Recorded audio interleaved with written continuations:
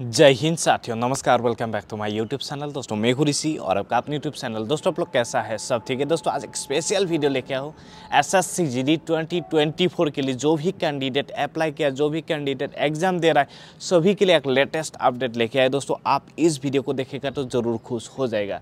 दोस्तों, क्या अपडेट लेके सभी को ऐसा लग रहा है सर प्लीज़ बताइए। दोस्तों एसएससी जीडी का एग्ज़ाम के रिलेटेड जो आंसर की है आंसर की कब तक जारी होगा। दोस्तों, क्योंकि 12 मार्च को आप लोगों का सभी का एग्ज़ाम क्लोज हो जाएगा।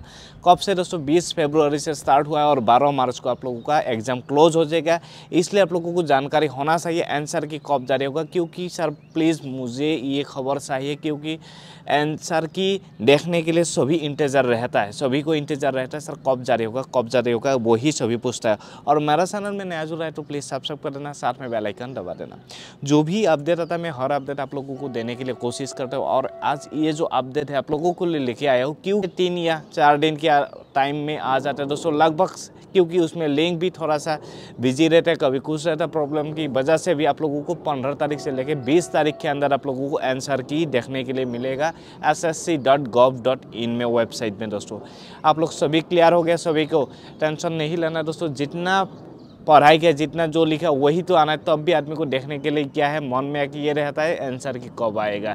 क्योंकि जो लिख के आया लिख के आने के बाद टेंशन तो सभी को रहता है। और अभी जिसका एग्ज़ाम है आप अच्छे से अच्छे से पढ़ाई कीजिए ताकि आप अच्छा स्कोर मिल जाए और आप लास्ट तक फिनिशिंग तक आप मेरिट में भी सिलेक्शन हो जाए।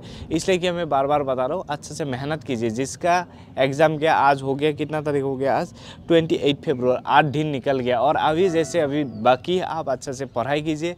और इस दिन में आप लोग ऐसा ये नहीं करना है वेस्टेज नहीं करना है टाइम क्योंकि बाद में आप लोगों को पछताना ना पड़े दोस्तों।